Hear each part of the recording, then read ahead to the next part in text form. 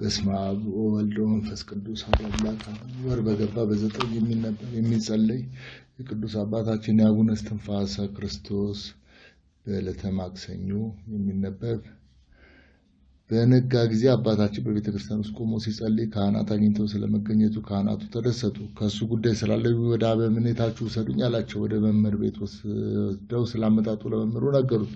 መምህሩም አስገቡት አለ። እስትንፋሰ ክርስቶስን ወደ ቤት አስገቡት።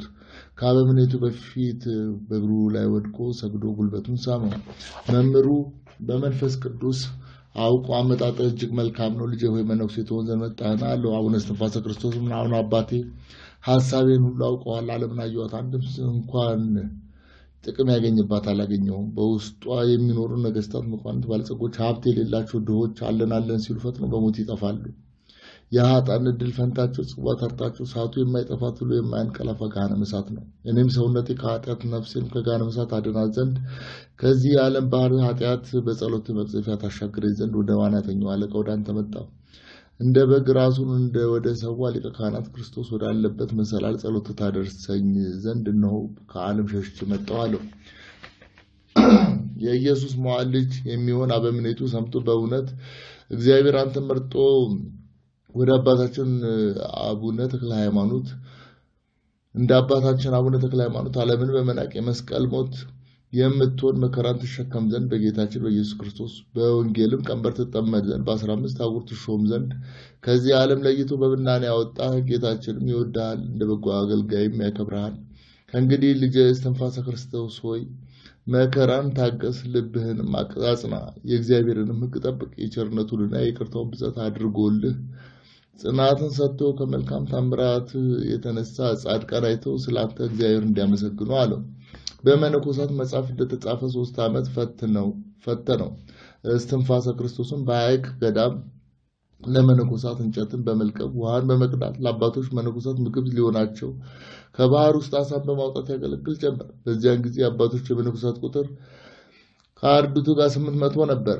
ሶስት ዓመት በገዳሙ ላሉት መነኮሳት በመላላክ ከቆየ በኋላ ቸርነቱንና መልካም ስራውን ትሕትናውና ባህሪ እንቁ እንደሚባል የጠራ ንጽሕናውን፣ ትዕግስቱን፣ ትሩፋቱን፣ ጽድቁን ባዩ ጊዜ በጣም ደስ አላቸው። ዳግመኛም ሀብተ ክህነቱን ጸሎቱንም እንደሚያዘወትር ለዘላለሙ ኃጢአት፣ ትዕቢት፣ ትዝህርት፣ ክፋት፣ ስስት፣ ቅናት፣ ሽንገላ፣ ሐሜት፣ ቁጣ እንደሌለበት አይተው ተረዱ። በፍቅርና በየዋህነት ጸሎትን ለመጸለይ ይጨነቃል እንጂ አይሰንፍም። የእጅ ስራ በሚሰራበት ጊዜ በአፉ እየጸለየ በእጁ ይሰራ ነበር። ከሶስት ዓመት በኋላ ማህበሩ ወደ አበምኔቱ ገብተው ይህ ልጅ በመልካም ስራ ፍጹም ነው፣ ክፋት የለበትም፣ መልካም ስራን ፈጽሟል ብሎ ለአበምኔቱ ነገሩት። ከሶስት ዓመት በኋላ የአባ አንጦንስንና የአባ መቃርስን የአባ ጳውሊንና የአባ አርሳኒዎስን የአባ ዮስጣቴዎስንና የአባ አብሳዲን የአባ ነቢዩድንና የአባ አቢብን የአባ መቃቢስን የኤላሪዮንን የአባ ኪሮስንና ሰባት ዓመት በአፉ ድንጋይ ጎርሶ የኖረ የአባ አጋቶንን የቅዱሳንን ገድል ሁሉ በመከተል ስርዓታቸውን በመከተል አሳየ። ለሁሉም አርአያ ሆነ። አበምኔቱ የእነዚህ ሁሉ በረከት በአንተ ላይ ይደር ብሎ ከባረከው በኋላ የምንኩስና ልብስ አለበሰው። አስኬማን የኢትዮጵያ ሊቀ ጳጳሳትና የገዳማት አለቃ የመነኮሳት አባት ከሚሆን ከአባ ሙሴ ሕንፃ ደብረ ድባ ከሚባል ቦታ ተቀበላለሁ። ከዚህ በኋላ እስትንፋሰ ክርስቶስ የደብሩ መጋቢና ሊቀ ዲያቆን ተሾመ። መምህሩንና የገዳሙን ቤተ ክርስቲያኑንም አስደሰተ። ቤተ ክርስቲያንም በመላላኩ በመልካም ጸባይ ሆኖ በማመስገን ተደሰተችበት። የምንኩስና ልብስ ለብሶ ጥቂት ወራት ከቆየ በኋላ የማህበሩን መነኮሳት ተሰናበታቸው። እነርሱም መርቀው ሸኙት። ወደ ጳጳሱም ሄዶ ከአንተ ባረክ ዘንድ መጣሁ አለው። ጳጳሱም እስትንፋሰ ክርስቶስን ባየ ጊዜ በምግባር በሃይማኖት እግዚአብሔርን በመፍራት በትምህርት እንዳደገ በመንፈስ ቅዱስም እንደጸና በእግዚአብሔርም ጸጋ ፍጹም እንደሆነ አውቆ እንደ ሊቀ ሐዋርያት ጴጥሮስ የቅስናን ስልጣን ሰጠው። ጳጳሱም የቃሉን አነጋገር ያንደበቱን ጣዕም ባየ ጊዜ አደነቀ። በእሱ ዘንድ ስውር ምስጢርን አይቷልና ከጥቂት ቀን በኋላ ቁምስናንና ኤጲስቆጶስነትን ሶስቱንም ስልጣን ሰጠው። ከዚህ በኋላ አባታችን እስትንፋሰ ክርስቶስ ጌታችን መድኃኒታችን ፈጣሪያችን ኢየሱስ ክርስቶስ ሰውነቱን በገርሃተ መስቀል የጣለ ነፍሱን ያገኛታል። ስለ እኔ ሰውነቱን በገርሃተ መስቀል ይጣል ያለውን አስቦ በጾምና በጸሎት በትህርምት በስግደት ኖረ። ዳግመኛም ጌታችን ኢየሱስ ክርስቶስ ሰው ዓለምን ሁሉ ቢገዛ ቢነዳ ነፍሱን ካጣ ምን ይጠቅመዋል ያለውን አስቦ ለሀጣን ፍዳ ለጻድቃን ተድላ ደስታ እንዳላቸው አሰበ። ይህን አስበው ከጳጳሱም ቤት ተባርኮ ከሸዋ አካባቢ ከምትገኝ ደብረ ድንቅ ታምራት እያደረገ እንደ ጌታችንና እንደ አስራ ሁለቱ ሐዋርያት አጋንንትን እያወጣ ድውያንን ይፈውስ፣ ለምጻምን ያነጻ ጀመር።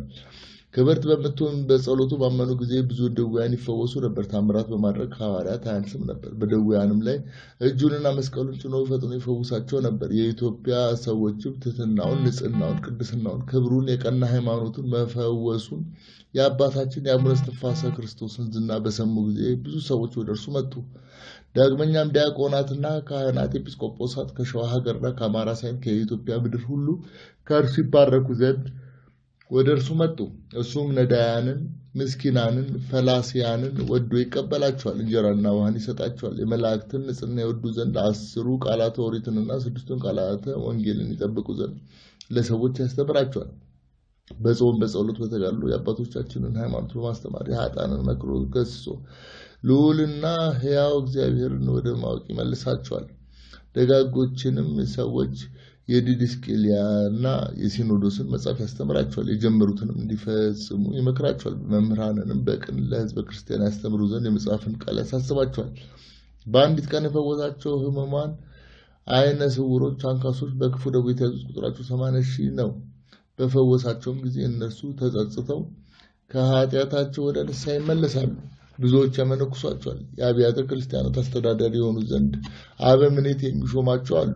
አባታችን አቡነ እስትንፋሰ ክርስቶስም በአንደበቱ የስብከት ጽናጽልን የምስጋና ከበሮን ያሰማል። ያለ ዕረፍት መቶ ሃምሳ መዝሙረ ዳዊትን አስራ አምስት መኃልየ ነቢያትን አምስቱ መኃልየ ሰለሞንን የሰባቱ ዕለት ውዳሴ ማርያምን ከአንቀጸ ብርሃን ጋር ሰባት ጊዜ በመሃል ሰባት ጊዜ በሌሊት ያደርሳል።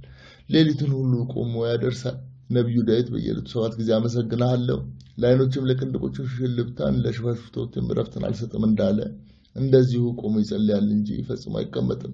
እንደሚገለባበት መንኮራኩርም ዘጠና ሺህ ይሰግድ ነበር። ዓይኖቹን አቅንቶ እንደ ክረምት ዝናብ እንባውን በእግዚአብሔርና በእመቤታችን ስዕል ፊት ያፈስ ነበር።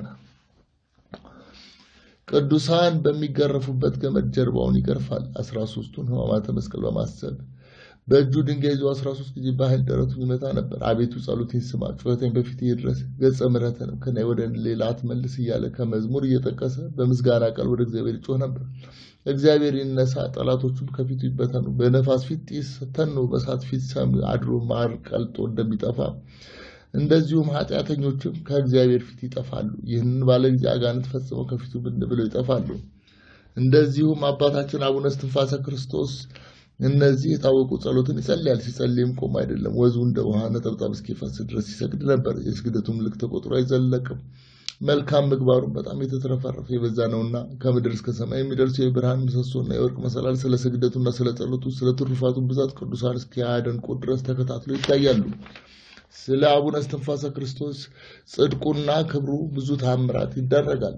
የወርቅ መሰላልና የብርሃን ምሰሶ የተባሉት በጾምና በጸሎት በሃይማኖት በፍቅር በትህትና ያነጻቸው የእስትንፋሰ ክርስቶስ ንጽሐ ስጋና ንጽሐ ነፍስ ናቸው። ጸሎቱ ወደ ላይ ወጥቶ እስከ ሰባተኛ ሰማይ እስከ መንበረ ጸባዖት ይደርስና ዳግመኛም በመሰላል ወደ ታች ተመልሶ በአዝመራ ጊዜ ብዙ ምርት በአውድማም በብዛት እንዲመረት ይመረታል። የሰማይ መላእክት ጸሎቱን በምድር የሚተዉት አይደለም። የእሱ ጸሎት ለማሳረግ ክንፍን ከክንፍ ጋር እያማቱ እየተጋፉ ከብዛታቸው የተነሳ ይጨነቃሉ እንጂ በብዛት ወደ ላይ የሚወጡ አሉ። አባታችን አቡነ እስትንፋሰ ክርስቶስ ወደ አለበት የጠራ መልካም የሆነ የትሩፋቱን ብዛት አይተው እንደ ምንጭ ውሃ የሚመነጭ ጸሎቱን ያሳርጉ ዘንድ በብዛት ወደ ምድር የሚወርዱ አሉ። ስለ ትሩፋቱ ብዛት መላእክት ይጎበኙት ዘንድ ይወዳሉ። እነሱም በዚያ መሰላል የጽድቁንና የትሩፋቱን ፍሬ ይዘው ይመጣሉ ይወጣሉ። የእሱ መዓዛና የእሱ መልክ የሰውን ልብ ይመስጣል። በዚህ ዓለም እሱን ስላገኙ መላእክት በጣም ይደሰቱበታል። በዚያን ዘመን ከሰው ሁሉ እንደርሱ የጽድቅን ስራ ትሩፋት የሚሰራ አላገኙምና የመዓዛው ሽታና የመዓዛ ጸሎቱ ወደ ላይ ወጥቶ ጽርሐ አርያምን ይሞላ ነበር። የጸሎቱ ፍሬ ሰላሳ ቅንጣት የሚሆን ስልሳ ቅንጣት የሚሆን መቶ ቅንጣትም የሚሆን አለ። አባታችን እስትንፋሰ ክርስቶስም የሰማይንና የምድርን ምስጢር በግልጽ ያያል። በገነትም የወርቅ መሰላልና አምደ ብርሃን ይተከላል። በክንፉም አየራትን ፈለከ ፈለካትን ይበራል። በእውነት አባታችን አቡነ እስትንፋሰ ክርስቶስ ጌታችንን ሁልጊዜ በግልጽ ያያል። ጌታችንም ከእርሱ አይርቅም።